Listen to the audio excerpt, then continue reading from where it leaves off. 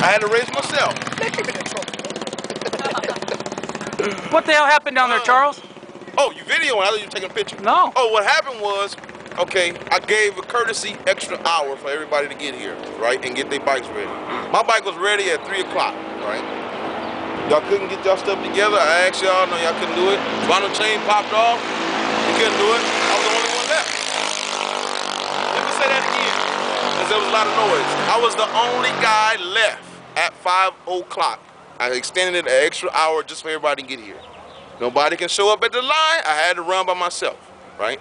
Now, 6 o'clock, there's racers, right? They gotta wait till next week now. Now, let me ask you You this. see what I'm saying? Are you ice house racing or not? No, Okay. That, man, that's Charles. off Just topic. have to ask you. Just I'm ask Charles. So- Penny drag bike. So we have here. Next week, week, So you're basically the week one champ or the week four champ? I'm week three champ. Week three champ. Yeah. So it did not start over then. No, it just The started rules- over as far as how, how everybody's going to you. decide Well, I'm, I'm, get I'm the gonna take him down. Other than that, that's about it. So what'd you say, Wolf?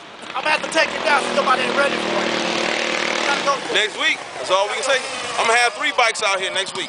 Next week. You seen it Who live. bike, who bike is this? AllMiniBikes.com. Who bike is this?